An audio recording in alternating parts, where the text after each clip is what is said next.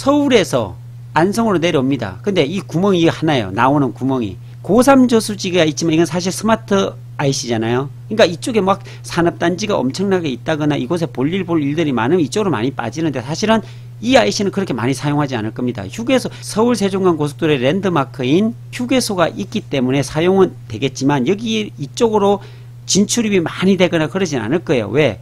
안성이 다 이쪽으로 몰려 있으니까. 안성 도심이 이쪽으로 다 되어 있기 때문에 안성시청, 안성버스터미널 이쪽으로 다 되어 있기 때문에 가장 핵심적인 거는 이 동안성 IC 다시 말씀드리면 정식 명칭은요 안성맞춤 IC로 또 바뀌었어요.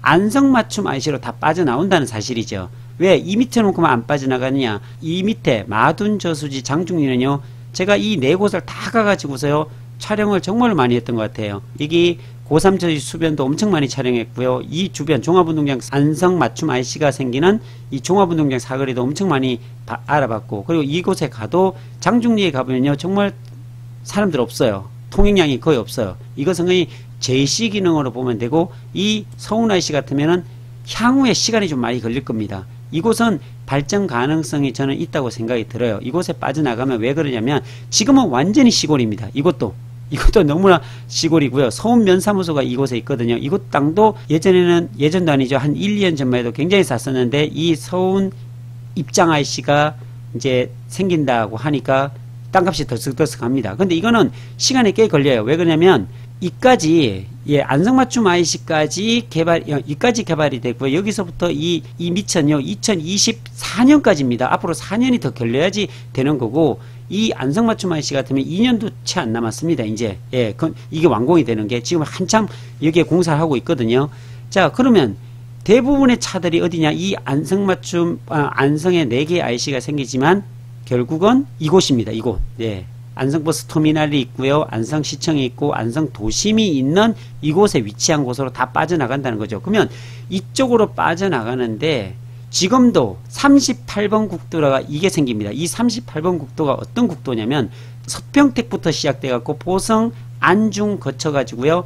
그 유명한 안성 IC 있죠. 네, 요 안성 IC를 거칩니다. 여기에 스타필드가 생깁니다. 이 스타필드는 고향에 있는 스타필드의 두 배, 일산에 있는 스타필드의 두 배 크기로 엄청나게 생기죠. 그러니까 여기에 병목 현상이 생겨서 엄청나게 막힐 거라고 예상을 합니다. 그래서 이걸 우회도로로 지금 밑으로 내리는 방안도 지금 막 얘기하고 있고 하는 그런 단계거든요. 그 유명한 이 산업도로 형식을 딴 이 38번 국도의 차량 통행이 엄청 많습니다. 그래서 여기에서 엄청나게 막히다가 결국 여기서 좀 풀어져 가지고요. 이까지 오게 됩니다. 그러면 지금도 이 38번 국도는 차량 통행이 정말로 가보시면 많아요. 지금도. 그런데 이게 서울 세종간 고속도로가 생기게 되면 이곳으로 다 빠져나올 거 아닙니까? ICS도 빠져나오고 38국도를 타가지고서 동쪽으로 서쪽으로 뭐 여러 가지 뭐 업무 때문에 빠져나가는 차량들이 많겠죠. 그러면 유동성이 많은 차량 차량의 유동성이 많고 IC가 생겼다는 것은 내가 기업을 한다고 생각한다면요. 이 IC에서 먼 곳에 있지 않을 것 같아요. 이 IC에서 가까운 어디 근처에 기업을 하려고 있, 겠죠 그래서 아까 용인 SK 하이닉스의 원삼 IC가 생기고 평택 삼성 반도체 근처에 고덕 IC가 생겼던 것처럼 여기에도 보면 IC가 생겼다는 것은 이 근처에 산업 활동을 할 수 있는 아니면 물류 활동을 할 수 있는 그런 기능들이 있는 그런 산업단지라든지 물류센터라든지 이런 것들이 분명히 들어오게 될 것 같아요. 분명히. 그래서 현재 보면 종합운동장 이 사거리, 요게 종합운동장 사거리거든요. 요게 보면 이쪽으로 보게 물류센터라고 24만 평 가까이가 잡혀 있어요. 실제로요. 그리고 이곳에는 굉장히 큰 이슈들이 지금 숨어져 있습니다. 그러니까 이 물류단지 아니더라도 이 IC가 빠져나오게 되면 이 종합운동장 사거리거든요. 이 위쪽으로 가게 되면 여기에 보면은 또 안성맞춤 랜드라고 해가지고요. 천문 과학관도 있고 컨벤션 부페 웨딩홀도 있고요. 그리고 남사당 전수관도 있고 박두진 문학관도 있고 한 여기에 정말로 잘 해놨더라고요. 예, 안성 시민들이 가가지고서 쉴 수도 있고 구경거리를 볼 수 있는 그런 것도 만들어 놨는데 이 위쪽보다는 사실은 이 아래쪽입니다. 제가 보는 견해 같은 경우는 이 IC에서 빠져나와서 이게 4차선이거든요. 여기도 현재 4차선입니다. 종합운동장 사거리 쪽으로 내려가는 이 라인, 이 라인이 현재 지금 4차선인데 이 4차선이 여기서 끊어집니다. 세븐일레븐에서. 근데 여기서부터 이까지가 2차선이었거든요. 종합운동장에서 금강저수지 안성 시민들이 사랑하는 이 금강 저수지 쪽으로 빠져나가는 요, 요 부분 있죠. 이까지가 2차선이에요. 근데 이게 4차선 공사를 지금 다 했습니다. 해가지고서 지금 마무리 단계예요. 여기가. 한번 들어가 볼까요? 실제로 여기를 한번 찍어 봐 드릴게요. 여기 어떻게 되냐면은 로드뷰로 한번 보도록 하겠습니다.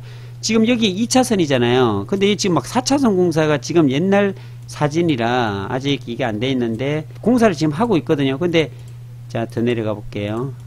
공사가 이미 다 끝났어요, 사실은. 네, 제가 며칠 전에도 가봤는데 이 4차선으로 이 확장하고 있네요. 이렇게 하고 있잖아요. 지금 이게 다 됐어요. 그래서 올해 6월 이전에 이게 마무리가 돼서 종합운동장 쪽으로 4차선으로 넓혀지는 걸로 예, 됐습니다.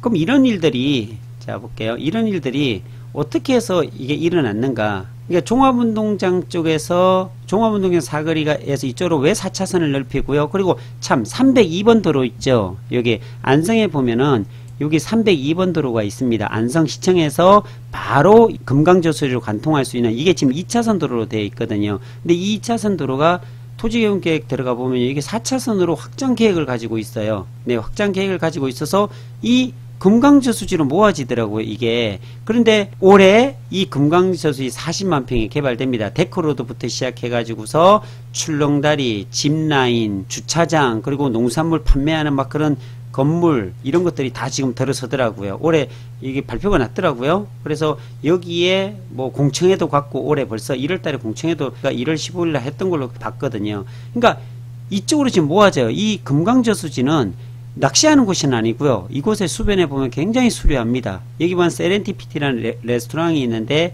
거기 가서 돈가스도 있고요. 쭈꾸미도 있는데 그거 드시면 후식으로 커피를 공짜로 주더라고요. 제가 여러 번 가서 먹어봤는데 맛도 좋고 좋아요. 근데 어쨌든 이 주변도 개발이 되면서 이 안성맞춤 IC 이쪽으로 다 빠져나오겠죠. 차량들이 빠져나오게 되면 기업들이 IC 근처에 다 배치하려고 그러고 그리고 많은 사람들이 이 안성시 종합운동장 보면요. 여기 종합운동장이 있고 홍익 아파트가 있잖아요. 여기에 보면 한 18개 동이 되어 있고요. 한 세대수는 한 2,000세대 정도 되어 있죠. 그러니까 인구수는 한 5, 6천 명 정도 여기 살아요. 근데 옛날 아파트라 누가 이 아파트를 투자하면 어떡하냐 하는데 이런 아파트 사시면 안 됩니다. 죄송합니다. 홍익 아파트 사시는 분들 죄송하지만 이건 옛날 아파트라 너무 오래됐어요. 이런 데 투자하기는 어렵고요. 이런 주변의 땅 같은 경우에 괜찮죠. 여기 보면 야구장도 있고요. 보조구장도 있고 두 개나 있죠. 그리고 안성국제 그냥 정구장이 아니라 안성국제 정구장이고요. 체육관, 국민체육센터, 실외 수영장, 배드민턴장, 향당 무전수관이라고 돼 있네. 이곳에 이런 체육시설이나 편의시설들이 다 모여 있다는 것은 결국은 이쪽은 다 개발될 수밖에 없겠죠. 왜? 안성맞춤 IC가 아주 가까이 바로 빠져나가면 있기 때문에 그러면 이곳 같은 경우에는 지금 도시 지역이거든요. 이 도시 지역 내지만 이건 나중에 향후에 예, 용도 구역이 상향될 가능성도 굉장히 높은 지역이죠. 이쪽은 왜 이쪽은 절대 농지가 아니고요. 그리고 또 좀 이 부분에 대해서 많이들 사람들이 얘기를 하시는데 이거 정말 조심하셔야 돼요. 여기 보면은 절대 농지입니다. 네, 여기 다 절대 농지죠. 그럼 이거를 한번 지적도를 보면요. 이게 절대 농지지만 보세요. 눈으로 보면 절대 농지인데 실제는 생산 녹지예요. 생산 녹지, 생산 녹지 다 절대 농지인데 생산 녹지예요. 이렇게 보면 야 이거 풀어지겠구나 해가지고 사람들이 여기를 막 투자하려고 해요. 이런 절대 농지에. 예, 여기 사실은 도시 지역 내 국토 종합 이용에 관한 법률에 보면 이게 도시 지역 내 생산 녹지거든요. 근데 그 뒤에 보면 뭐냐면 농림부에서요. 농업진흥구역이라고 딱 표시가 돼 있어요. 그렇기 때문에 이거는 현재 있다 건물을 짓는다든지 개발 행위를 할 수 없어요. 이쪽에 뭐 건생을 한다든지 일반 창고를 짓는 창고도 안 돼요. 이런 쪽은 농가 창고나 이런 거나 가능할까요? 아예 막혀 있다는 거죠. 그래서 이런 곳을 문의하시더라고. 이곳에 40만 원, 50만 원을 주고 산다고 막 얘기하는 거 보고 저 깜짝 놀랐습니다. 이런 쪽에는 절대로 들어가면은 안 됩니다. 왜 안 안 되냐고 말씀을 드리면 다시 볼게요. 절대 농지잖아요. 이런 곳은 위 굉장히 위험합니다. 향후에 도시계획이 잡혀서 만약에 이렇게 뭐 도시계획이 잡혔다 이 생산 어, 녹지니까요. 그럼 이곳은 뭘로 들어갈까요? 환지로 갈까요? 절대로 환지로 가지 않습니다. 이런 절대 농지 같은 경우는요. 100% 수용입니다. 제가 이건 자신있게 말씀드렸어요. 이거는 수용으로 될 수밖에 없어요. 이걸 어떻게 환지로 줍니까? 평택 같은 경우에는 지제역 앞 같은 경우도 한 10만 평 되는데 그거 다 수용됐고요. 평택 고덕 신도시 다 수용이고요. 브레인시티 다 수용이고요.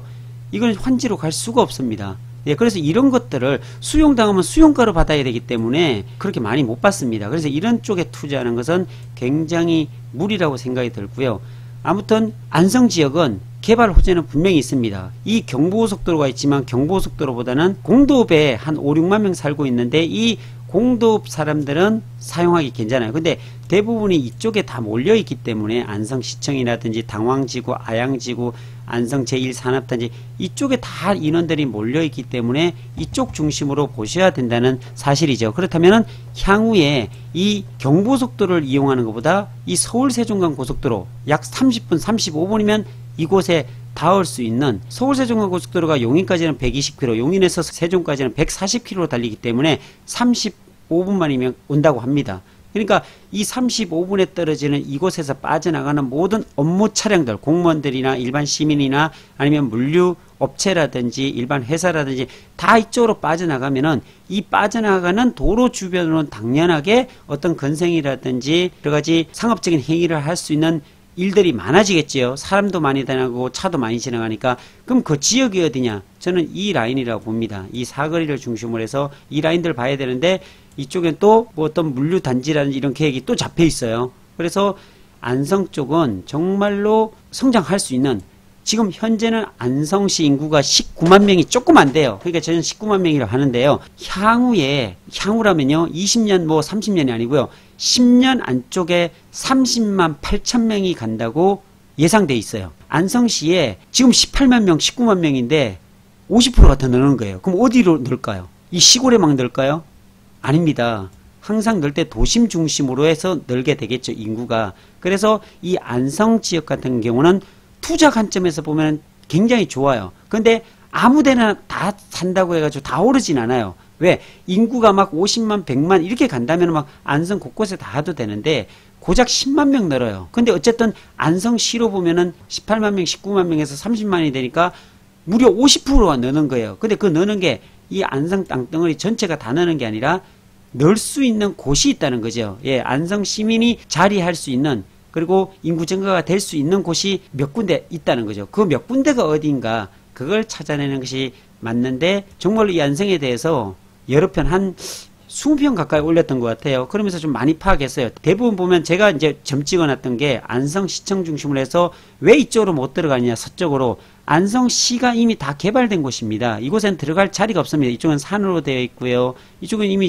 시내권이기 때문에 땅어디에 들어갈 데가 없습니다. 다 값이 비싸기 때문에 그러면 아직까지 미개발지 앞으로 향후에 집가가 오를 지역은 개발이 안 된 곳이잖아요. 저는 그래서 이쪽 주변을 IC도 있고요. 이쪽 계획도 있고요. 이쪽 주변을 본다는 사실이죠. 그래서 너무 안쪽보다는 항상 도로 중심으로 보시라고 말씀을 제가 드렸던 부분이고요. 그리고 또 한 곳에 보면은 이곳에 보면 안성시 끝자락 이쪽에 서운면 위쪽에 보면은 대부분 다 여기에 산업단지들이 다 위치해 있습니다. 미양 농공단지도 있고요. 미양 제2 일반 산업단지가 여기 있거든요. 그리고 보면 안성 제1반 산업단지가 있고 2산업단지가 있고 그리고 여기 4산업단지까지 있어요. 그리고 이쪽에 중소기업 산업단지가 또 생겨요. 24만 평인가요? 몇만 평인가 또 생겨요. 그렇기 때문에 이쪽도 굉장히 좋아져요. 그래서 여기 보면은 서운 입장 IC가 여기 생기는 것 같아요. 여기, 여기에서 57번 국도 라인까지 연결되거든요. 여기는 입장이고요.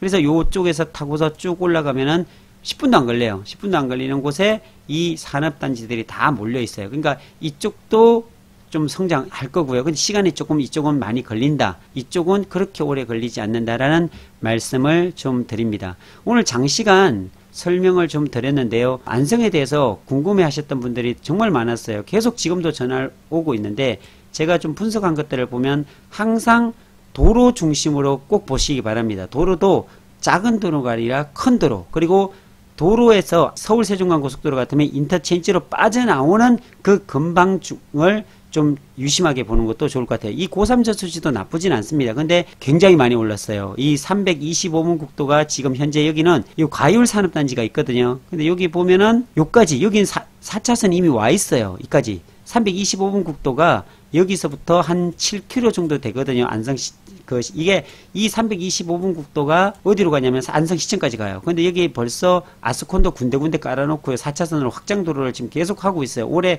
말이면 이게 끝날 수 있을 것 같아요. 그래서 이런 호재들이 있, 있지만은 이 고3 저수지 이 325분 국도는 평당 거의 150만 원대 갑니다.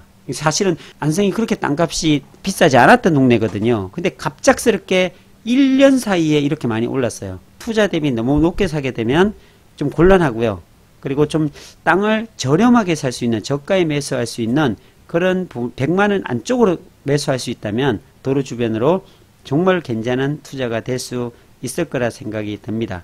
자, 오늘은 안성에 대해서 좀 심도 있게 제가 경험했던 거 실제적으로 상황을 제가 좀 설명을 드렸던 것 같아요. 그래서 자세히 좀 궁금해 하신 부분들은 조금 더 공부해 보시고 또 정말 궁금하다 투자하는데 궁금하신 분들은 어, 연락 주시면 제가 성심성의껏 좀 설명을 드리도록 하겠습니다. 자, 오늘은 여기까지입니다. 감사합니다.